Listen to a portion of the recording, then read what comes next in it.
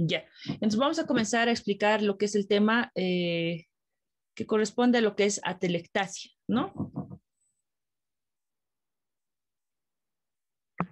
Comenzaremos primero definiendo eh, el concepto de atelectasia, eh, el cual nosotros vamos a llegar a conocer como el colapso completo o parcial de un pulmón, ¿no? O una parte de un pulmón, que en este caso se referiría a un lóbulo, ¿no?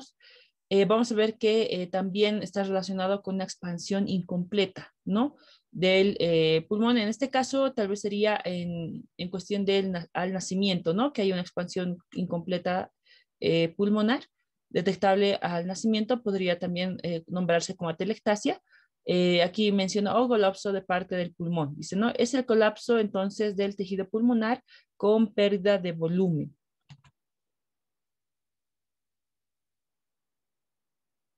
Ya.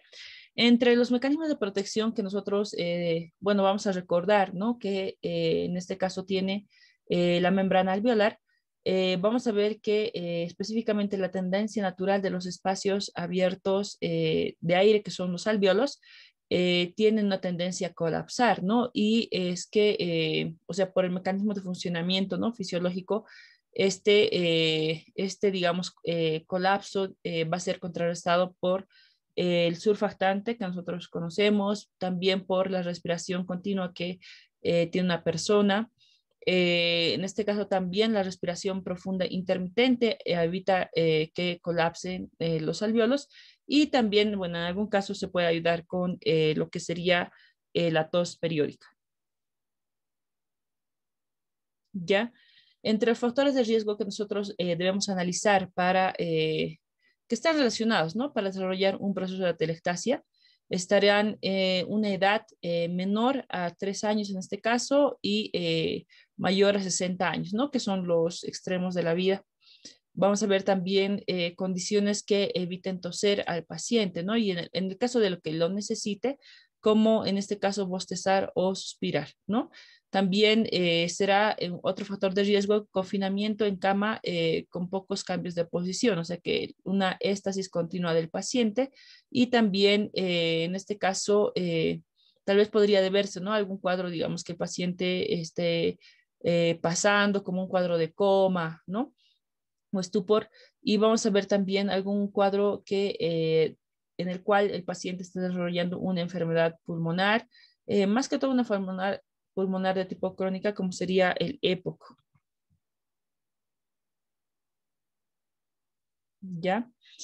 Eh, otros factores de riesgo nosotros eh, podríamos llegar a eh, analizar que también se puede dar, en este caso, la trictasia en un parto o nacimiento prematuro, ¿no? Donde sabemos que el, el recién nacido, digamos, pretérmino tiene, ¿no? La capacidad eh, de em, específicamente sintetizar ¿no? la cantidad adecuada de surfactante, lo que hace que este, o sea, esta sustancia que hemos mencionado, que es la, un factor de protección de la membrana alveolar, para evitar que se colapse, eh, al ser insuficiente, simplemente, o sea, el, pulmón llegaría a colapsarse, ¿no? Generando lo que es la telectasia. También vamos a ver una cirugía abdominal o torácica reciente, ¿no? Y por la anestesia general, eh, también podría ser otro factor de riesgo. Em, también vemos la debilidad de los músculos respiratorios, ¿no? Que, eh, bueno, eh, también se va a desarrollar esto en lo que sería las eh, distrofias musculares que nosotros, digamos, en algún momento podríamos mencionar como la distrofia muscular de Becker, ¿no? Y en el caso también de que el paciente, digamos, presente una respiración superficial y esto también podría ser secundario a algún tipo de enfermedad pulmonar. ¿Ya? En cuanto a la etiología y clasificación, eh, nosotros eh, vamos a poder ver en este caso cinco, eh, cinco tipos de atelectasia que podríamos encontrar, ¿no? La, obstructiva, que va a ser, digamos, en este caso, el, el caso más frecuente ¿no? de atelectasia o la causa más frecuente de atelectasia y se va a deber a una obstrucción intrínseca o extrínseca endoluminal de las vías aéreas, ¿no? Específicamente por eh, tal vez algún tipo de cuerpo extraño o tal vez eh, el haber, digamos, eh, en la inspiración, haber inhalado, ¿no? Algún, algún producto, digamos, o elemento que esté taponando los alveolos respiratorios, ¿no? Veremos también, eh, en este caso, la eh, etiología fibrótica, ¿no? que va a ser secundaria a la formación de tejido cicatricial en el espacio interalveolar o intersticial, ¿no? Y frecuentemente se va a acompañar de bronquiectasias, que va a ser la dilatación de los bronquios, ¿no? Eh, también vamos a ver la etiología, en este caso, la forma pasiva, ¿no? Que simplemente, digamos, por relajación de, eh, en este caso podría ser, ¿no? De los músculos respiratorios, por una disfunción eh, del diafragma o hipoventilación, eh, será que también em, estará asociada a procesos que, digamos, pueden ocupar el espacio pleural, ¿no? Como tal vez algún tipo de neumotórax o hemotórax, ¿no? Que puedan, digamos, reducir, en este caso, eh, de forma brusca la capacidad del espacio pulmonar y hacer que el pulmón se colapse, ¿no? Eh, la forma compresiva, que sería, eh, en este caso, la pérdida de volumen que acompaña a procesos intrapulmonares ocupantes de espacio. Y, por último, la forma adhesiva, ¿no? o tipo adhesivo, que sería una telestasia, en este caso, con vías aéreas permeables, eh, pero se deberá, digamos, en este caso, una alteración del agente tensioactivo pulmonar, que en este caso será, o sea, la adhesiva simplemente se deberá a una falta de, eh, muy relacionada, ¿no? Con una falta de eh, síntesis de surfactante. ¿Ya? En cuanto a etiología, entonces mencionamos, ¿no? Que algunas los siguientes factores van a estar relacionados para desarrollar el paciente atelectasia, ¿no? Será la presencia de tumores, ¿no?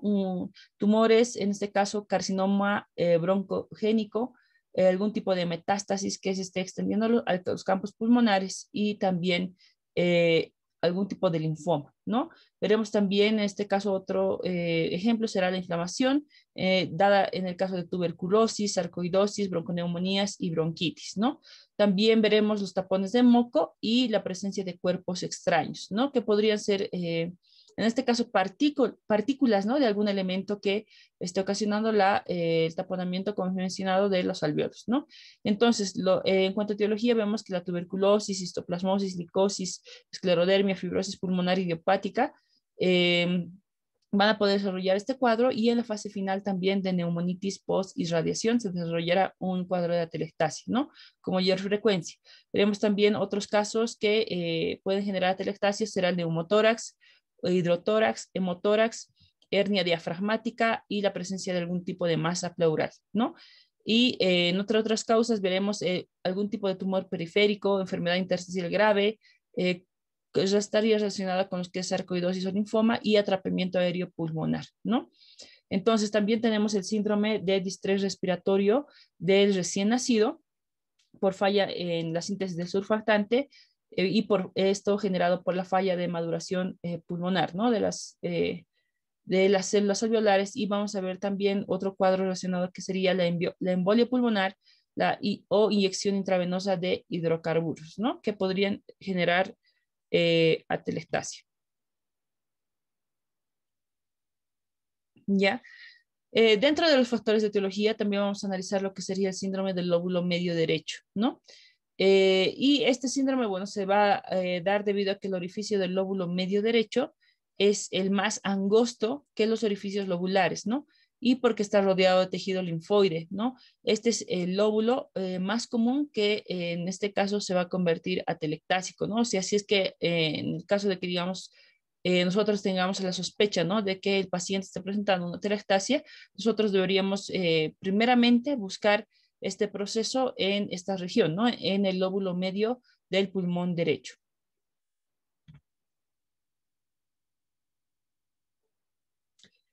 En cuestión de eh, la presentación eh, clínica, ¿no? veremos específicamente eh, los síntomas, ¿no?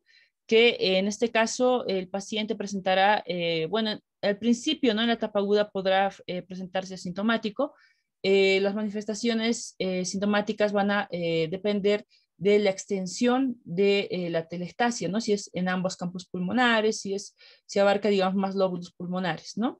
Y eh, vamos a ver que entre los síntomas que nosotros vamos a poder encontrar va a ser lo que es eh, la disnea, la respiración rápida y superficial, tos, puede haber sensación de ahogo, fiebre baja, ¿no? En algún caso, también dolor pleurítico, o sea, en este caso va a ser, podría ser retroesternal o em, extendido, ¿no? En ambos campos pulmonares y también este, digamos, todos los síntomas van a ser de tipo persistente, ¿no? Que tal vez puede estar relacionado con un proceso neumónico.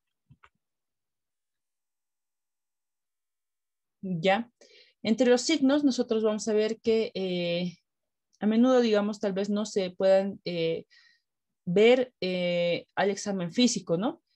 Vamos a ver que siempre, bueno, puede haber, digamos, una relación en lo que sería el cuadro clínico de paciente.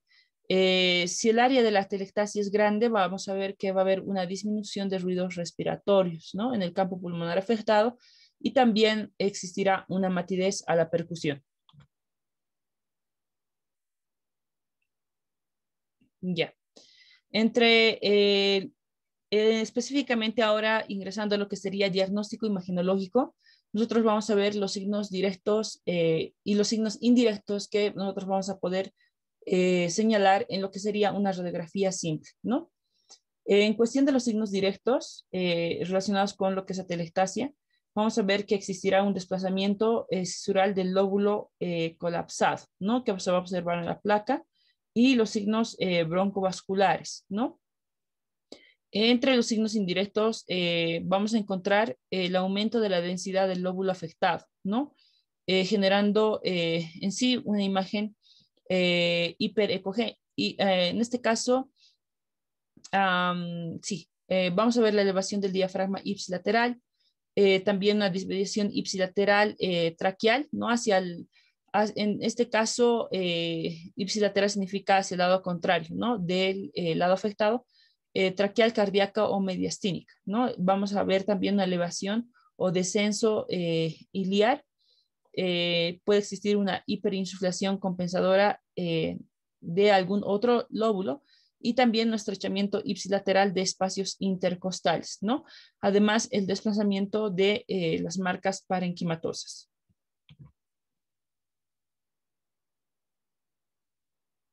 Entonces, eh, vamos a ver que en bueno, esta radiografía, ¿no? Postero, anterior y lateral eh, de tórax, eh, podemos observar que en este caso existe la presencia de atelectasia, ¿no? En el campo pulmonar derecho, ¿no?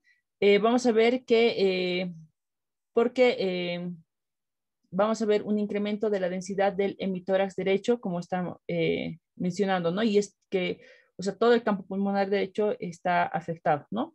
Vamos a ver eh, que es también se, este, ¿no? se hace la presencia en la imagen A de un desplazamiento eh, traqueal, ¿no? De la, eh, habíamos mencionado, ¿no? viendo, digamos, el centraje de la placa que se desvía, ¿no? Hacia el campo pulmonar afectado y también se observa una aproximación de, en este caso, las costillas, ¿no? Los arcos de las costillas, ¿no?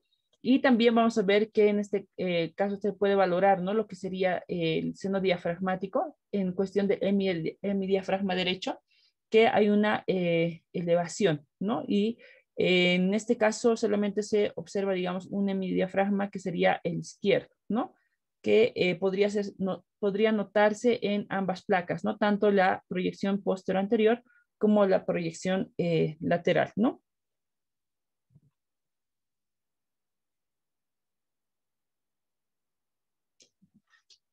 En esta eh, otro estudio que nosotros vamos a poder analizar va a ser una tomografía axial computarizada, ¿no? Donde en, el caso de la tomografía axial computarizada por los cortes finos que realiza y en este estudio, digamos, en este corte eh, transversal, podemos ver que la telestasia, eh, vamos a ver, se encuentra en el lóbulo superior izquierdo, ¿no?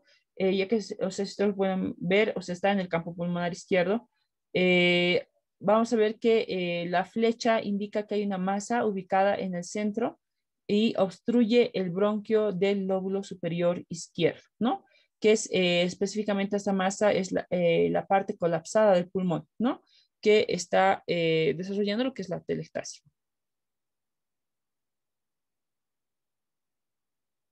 Ya. vemos, volvemos a ver otra imagen eh, en este caso de imaginar que es una radiografía posterior anterior de tórax eh, con la gráfica, ¿no? Y en comparación con una eh, tomografía axial computarizada, ¿no? vamos a ver que en, en estos estudios nosotros estamos viendo ¿no? el colapso del lóbulo superior del campo pulmonar derecho. menciona ¿no? un aumento de la densidad apical paratraqueal derecho, ¿no? que para nosotros específicamente es una imagen de radiopaca, ¿no? Que está apareciendo, que está eh, señalada en la imagen A con una flechita negra, ¿no? Eh, vamos a ver también que eh, en este caso la imagen confirma, ¿no? El colapso de esta región pulmonar que va a ser secundario, en este caso, a una neoformación pulmonar apical derecha con extensión endobronquial, ¿no? Que se estaría, digamos, en este caso confirmando con la tomografía computarizada, ¿no? Y vamos a ver que la dirección del lóbulo eh, colapsado va a ser eh, superior, anterior y medial, ¿no? De ahí que nosotros que decimos que es, eh, en este caso, el colapso del lóbulo superior derecho, ¿no? Como está mostrado en em, ambas, ambos estudios, ¿no?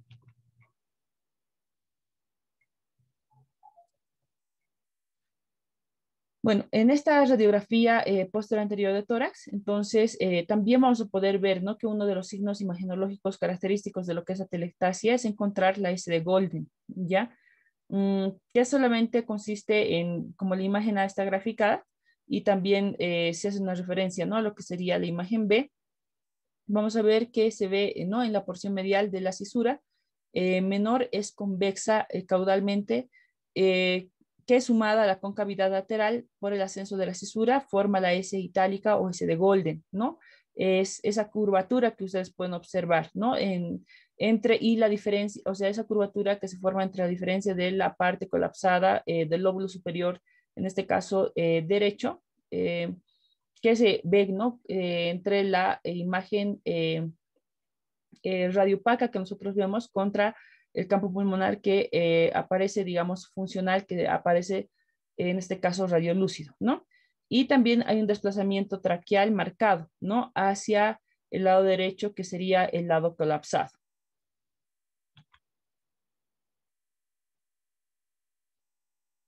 ¿Ya? Bueno, en cuanto al tratamiento, nosotros vamos a ver que eh, primeramente se debe identificar, ¿no? La causa de, eh, por la cual se ha producido la atelectasia, ¿no? Eh, en el caso de que, por ejemplo, podría ser, digamos, por eh, la presencia de algún cuerpo extraño o algún tumor, eh, al realizar, digamos, una broncoscopía, podríamos, este, ¿no? Podríamos, o sea, tendríamos que ver si se puede retirar el cuerpo extraño, ¿no? Em, también debemos ver, bueno, que en el caso de que sea, digamos, una telestasia rígida, tal vez sean, este, ¿no? Los pacientes aquí me dice, mencionan, ¿no? Los pacientes pediátricos con tapón eh, de moco, ¿no? Podrían desarrollar esto, este proceso de atelectasia y habría que eh, tratarlos con broncodilatadores, ¿no? Eh, ver también si la atelectasia es flexible, ¿no? Si, si se expande o si expande muy poco, ¿no? Distinguir si es el factor, digamos, del paciente extrínseco o intrínseco, ¿no? En cuestión de detectar si es que es la falta de surfactante o no, ¿no? O hay algún otro factor secundario, ¿no? Em, vamos a ver también el uso de mucolíticos, ¿no? Eh, en el caso de que sea originada por la presencia de secreciones, ¿no? Eh, vamos a ver también que se puede asociar un tratamiento de antibioticoterapia, un drenaje postural, eh, fisioterapia respiratoria, que es lo que más se utiliza, ¿no? Para fortalecer los músculos respiratorios y estimular, digamos, la expansión pulmonar. Eh, también se puede, bueno, en algunos casos, digamos, eh, estimular, ¿no? La función pulmonar con la enzima dornasa alfa, ¿no? Em, vamos a ver que los pacientes no intubados em, deberían, este, ¿no? Deberían, eh, bueno, se pueden tratar con presión positiva continua en la vía aérea, ¿no? O sea, con una respiración asistida, ¿no? Que deberíamos dar al paciente. Pacientes intubados, la presión positiva al final de la aspiración y un mayor volumen de corriente de ventilación, ¿no? Aumentar entonces, eh, en este caso, em, la, este, ¿no? la capacidad, digamos, de ventilación que el paciente está recibiendo, ¿no? Y también, eh, como he mencionado, ¿no? Utilizar broncodilatadores eh, por inhalación y también se puede utilizar este, ¿no? Lo que sería, en este caso, la acetilcisteína, ¿no? Que va a ser, también va a tener la función de un mucolítico, como también a beneficiar ¿no? la extensión eh, de la capacidad pulmonar. ¿Ya? Entonces, en cuanto al tratamiento, eh, ver, ¿no? Que el drenaje postural, bueno, eh, en este caso, ¿no? Se hace sentar, digamos, al paciente, ¿no? En una posición donde no fuerce tanto, digamos, lo que sería la respiración. Entonces va a estar como sentado el paciente en este caso y esto hace que se facilite el drenaje gravitacional con la adopción de diversas posturas, ¿no? Que hacen que se verticalice las vías aéreas de cada segmento y el lóbulo pulmonar, ¿no? En este caso puede ser de cúbito lateral, pero siempre semisentado, o eh, aquí dice sedestación, ¿no? Que estaría, digamos, de frente y como sentado. Eh, los ejercicios de expansión torácica, vamos a ver que el paciente eh, realizará, ¿no? Tipo de inspiraciones máximas sostenidas mediante una apnea breve, ¿no? Al final de aquellas, seguidas de una expiración lenta y pasiva, ¿no? Entonces, bueno, en los niños se puede eh, ver ahí, menciona, ¿no? Puede, puede darse entre la risa y el llanto. Eh, los pacientes ventilados, eh, vamos a ver que se les puede, este, ¿no? Se les puede provocar una hiperinsuflación manual, ¿no? Y en este caso, digamos, también aquí menciona, ¿no? Incentivadores, o sea, con el uso de lo que serían los broncodilatadores. Eh, en cuestión de eh, otros tratamientos, ¿no? Que sería, eh, en este caso, la respiración diafragmática, ¿no? que el paciente, digamos, pueda realizar periodos de respiración lenta y a volumen de corriente con relajación de los músculos accesorios respiratorios, ¿no? Y ventilación con el diafragma intercalados entre técnicas más activas, ¿no? Con el fin de permitir la recuperación y evitar el agotamiento del paciente, ¿no? O estimular, digamos, es otra eh, forma de ejercicios respiratorios, ¿no? Y también, eh, bueno, masajes de percusión torácica, ¿no? Que eh, consiste en un golpeteo repetido con la punta de los dedos, bueno, en este caso en lactantes, con la mano hueca en niños mayores o una mascarilla hinchable en, sobre las distintas zonas del tórax, ¿no? Estimulando, digamos, eh, más que toda la circulación y el drenaje, ¿no? De las áreas, digamos, que han colapsado. Eh, y eh, en este caso se puede, este, ¿no? Percusión torácica se acompañará de lo que sería el drenaje postural. Y también otro tratamiento sería una tos provocada y dirigida, ¿no? Que es, una, es un proceso de tos que se va, este, ¿no? Que se va a provocar aplicándose una suave presión sobre la tráquea, como estamos observando en la imagen, en el hueco supraesternal y al final de la inspiración, ¿no? Entonces la tos lo que hace es producir una eh, expectoración, ¿no? de tipo mecánico, movimiento mecánico, donde eh, simplemente, digamos, va a facilitar la eliminación de mucosas hacia la boca y también eh, la dilución de las mismas, ¿no? En los pacientes intubados, tal vez como, digamos, pueden ser que estén sedados, en, en este caso se utilizará la succión, ¿no? La succión de eh, las secreciones ¿no? respiratorias. En cuanto a la prevención, vamos a ver que, eh, bueno, una vez identificada, ¿no? Primeramente la causa, eh, debemos, digamos, ver que si se ha producido, ¿no? Por, en un paciente, digamos, que está en coma o tal vez por algún proceso quirúrgico, evitar la sedación excesiva, ¿no? En quirófano, Para que no se produzca este proceso. También que el paciente, digamos, en este caso, hay un factor de riesgo como fumar o obesidad, entonces deberían tratarse ambos aspectos. También en el caso de eh, que el paciente necesita un reposo prolongado, es necesario eh, este, ¿no? O sea, cambiar la posición del paciente, ¿no? Eh, de vez en cuando y ver también el tratamiento farmacológico optimizado en pacientes con enfermedad pulmonar obstructiva crónica antes de la cirugía, ¿no? Para evitar, digamos, este proceso, ¿no? Eh, vamos a ver también alguna, eh, utilizar algunas técnicas de expansión pulmonar, en este caso eh, postquirúrgicas, ¿no? O sea, realizar, digamos, después de una cirugía, ¿no? Algún tipo, digamos, de fisioterapia respiratoria, ¿no? En el caso siempre de que haya factores de riesgo, ¿no? Y bueno, eso ha sido sí todo el tema jóvenes.